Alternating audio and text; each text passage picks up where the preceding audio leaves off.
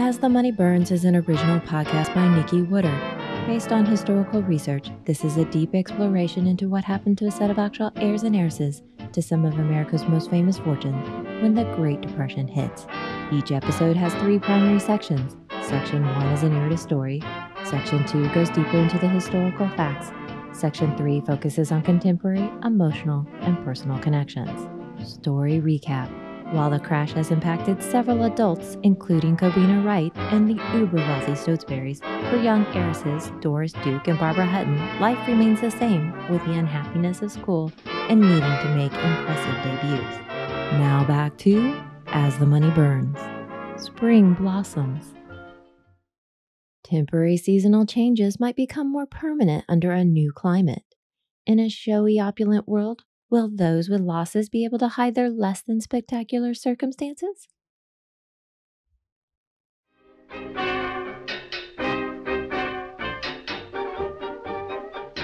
Section 1 Story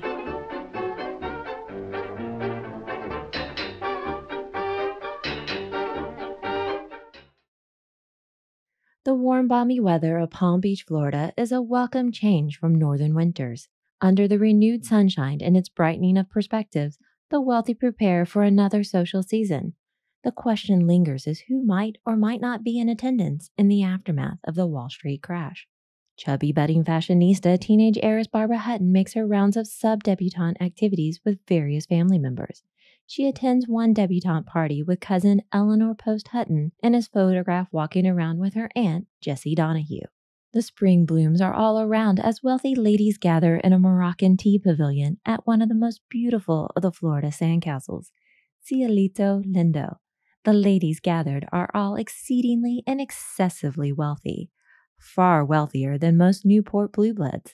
Yet each has struggled with acceptance and capital as society, being a relative new money. It can take two to three generations for admission, and they are mostly second generation wealth as heiresses or first generation if by marriage. They enjoy their lavish, conspicuous lives to the hilt, and Palm Beach makes no restrictions that the stuffier Newport requires.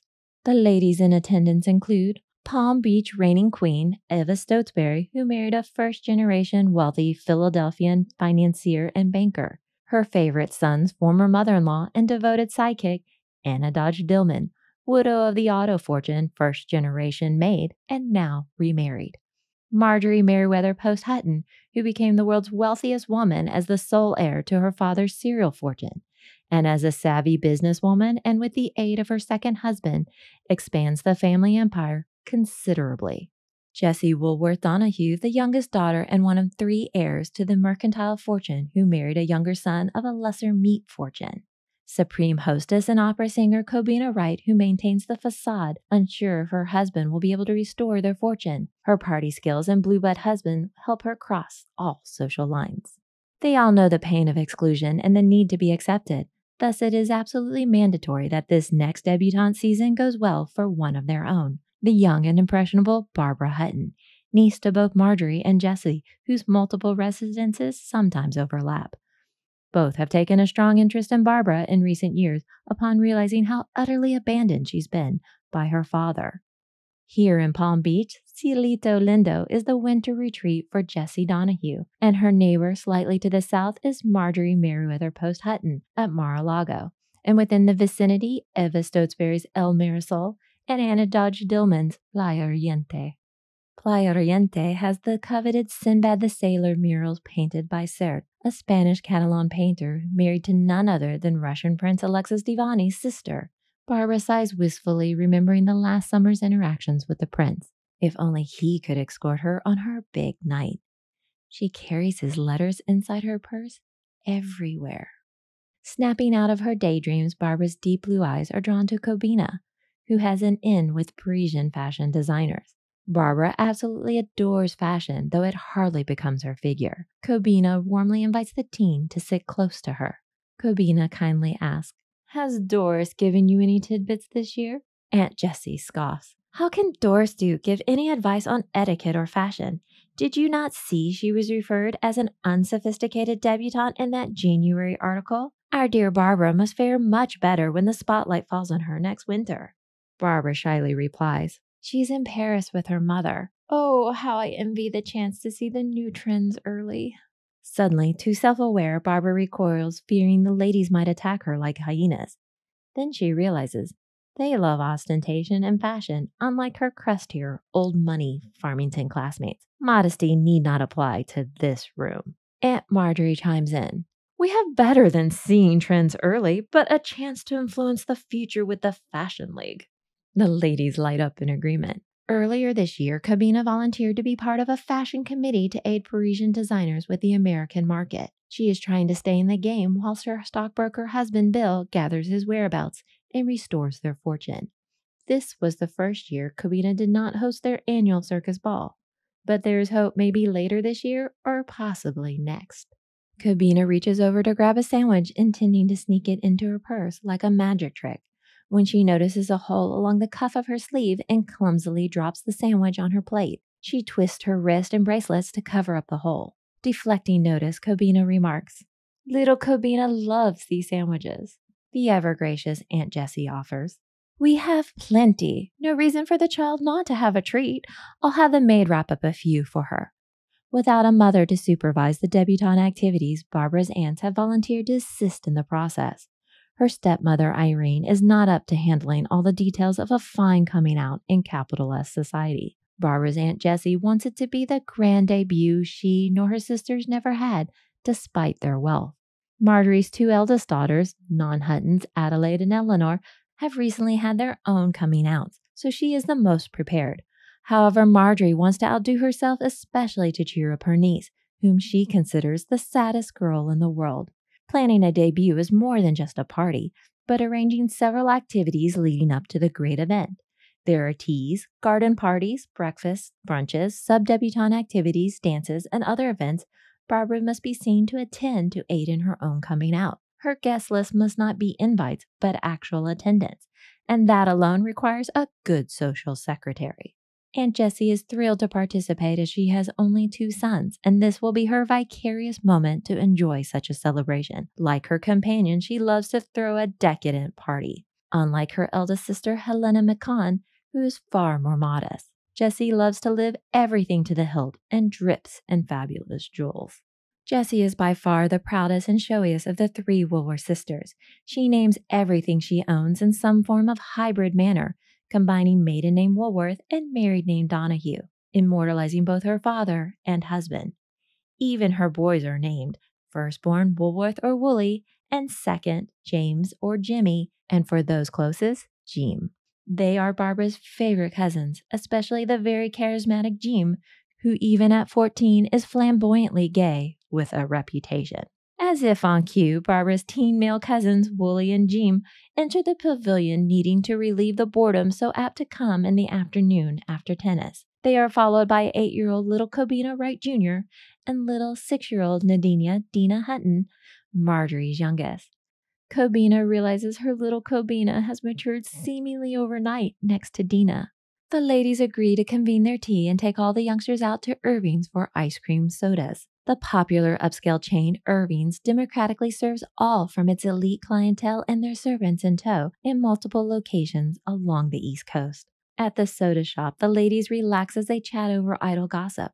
Rumors of married American socialite Thelma Furness with the single Prince of Wales percolate. Flipping casually through New York's daily news, today, April 29, 1930, the announcement pops out. Doris Duke will be bowing at the Court of St. James this May. All mouths drop open at the rare honor. Upon return later that afternoon, Cobina looks at the cute picnic basket bearing the little sandwiches. Curiously, she discovers an envelope inside and opens to find a rare, large check signed by Jessie Donahue with a tiny note. You might need a little cash to tide you over. For friendship's sake, don't ever mention this.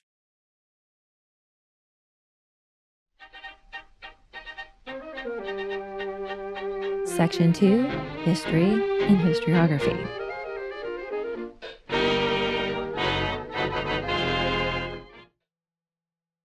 The Atlanta Constitution, in its 1934 Who's Who and Why Where column, remarked that socially, Palm Beach is a five ring circus plus sideshows it is at once one of the loveliest and phoniest spots in the world.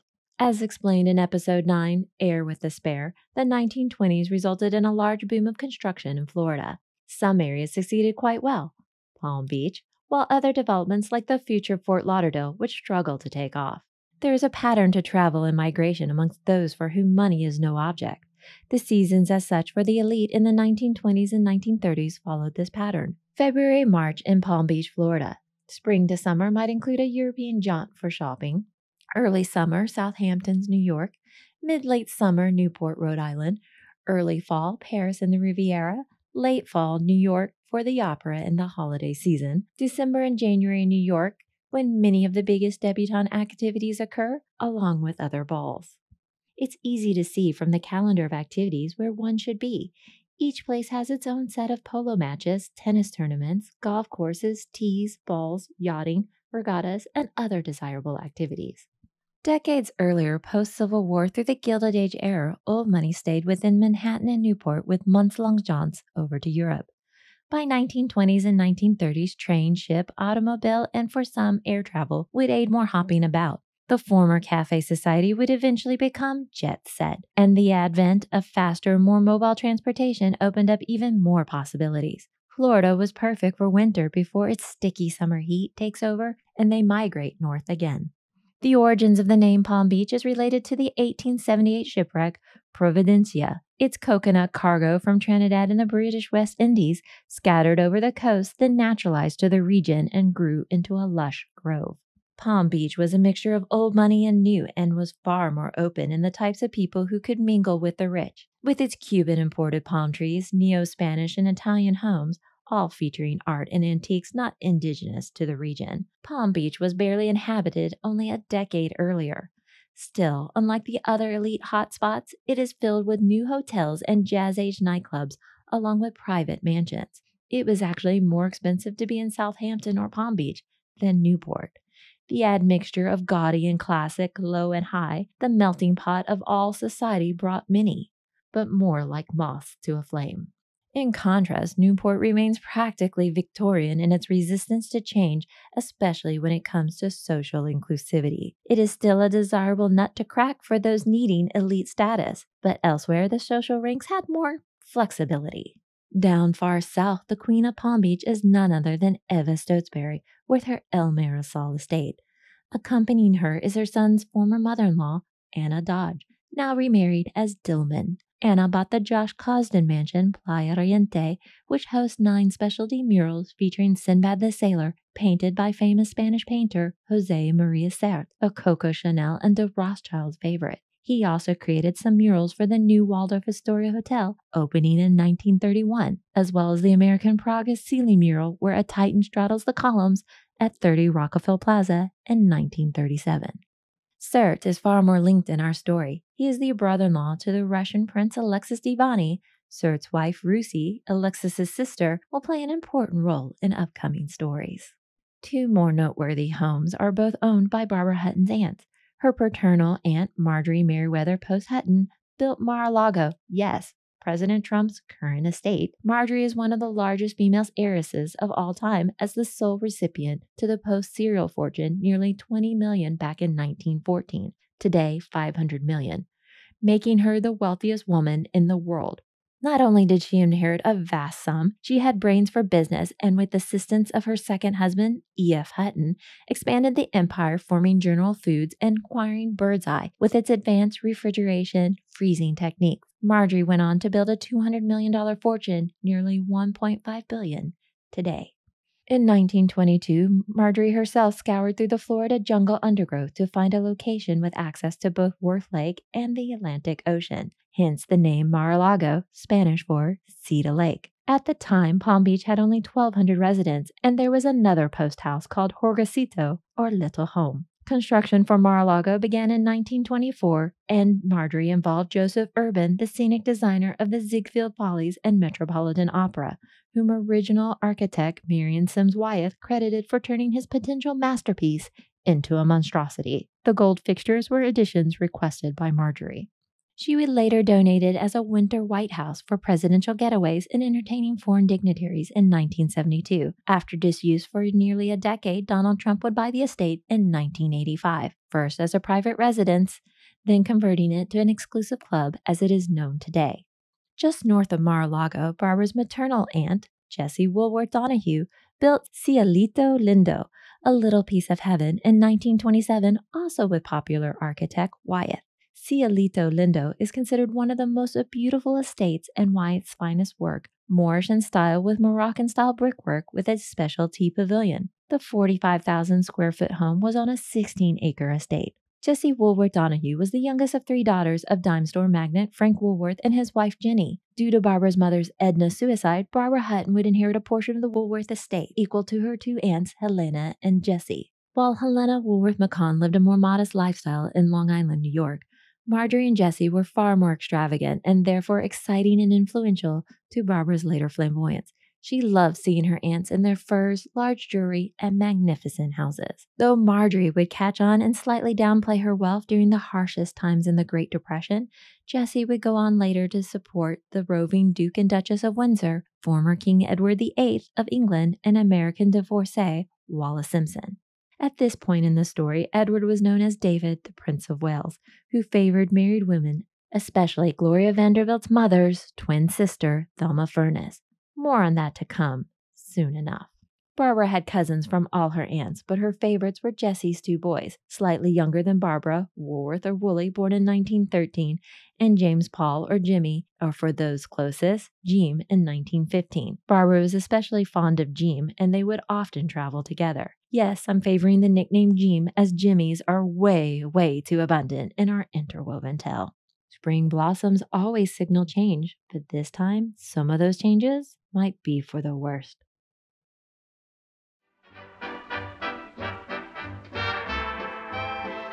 Section 3 Contemporary and Personal Relevance.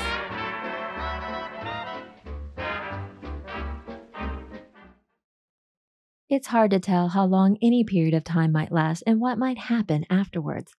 The ongoing pandemic is subsiding into a more hopeful summer, yet pandemics historically last roughly 18 months to almost two years the ongoing references to real estate and mansions are to show the short and long term nature of the story being told. The historic landmarks link us back in time, past remnants in the present and future, and at other times, knowledge of what is now lost forever. And that is the nature of this story a precautionary tale about the limitations and fleeting nature of vast wealth. Our story could also be called How to Lose a Fortune, as the people and elements presented are caught in a moment of time, one that is disappearing like a mirage on the horizon. Yet fortunes long gone leave traces, especially in the form of real estate. The former El Mirasol and current Mar-a-Lago are listed among the largest houses still existing or lost in America via Wikipedia. The one curiously left off the list is Cielito Lindo at 45,000 square feet when built, but was divided up into four different sections in the 1940s when the estate was split apart by Kings Road construction. The part containing the former tea pavilion was up for sale in 2015 via the Corcoran Real Estate Group. In February 2020, Palm Beach Daily News reported a home sold near Mar-a-Lago and is suspected to also be part of the original Cielito Lindo tea house or staff quarters. As the more things change, some things stay the same, and yet nothing truly lasts forever. Looking for new podcasts? Check out on Twitter Potato Lady Podcast Reviews. She did a review for As the Money Burns, praising the three part format and giving a special shout out to the wonderful music provided by Past Perfect. The Potato Lady also did a wonderful sketch and video on the creation of her artwork. Interested in my recurring Waldorf Astoria Hotels webinar with little tidbits related to As the Money Burns podcast? They will be back, part 1 on Wednesday, June 16th and part 2 Thursday, June 17th at 5:30 Eastern, 2:30 Pacific. More information can be found at it New York Adventure Club www.nyadventureclub.com or the events section at asthemoneyburns.com. Next, when we return to As the Money Burns, for the royally obsessed debutante, nothing is more enviable than to be presented at court. But such a high honor comes with a steep price. Until then. As the Money Burns is an original podcast written, produced, and voiced by Nikki Woodard based on historical research. Archival music has been provided by Past Perfect Vintage Music. Check out their website at www.pastperfect.com please come visit us at As the Money Burns via Twitter, Facebook, or Instagram. Transcripts, timeline, episode guide, and character bios are available at asthemoneyburns.com.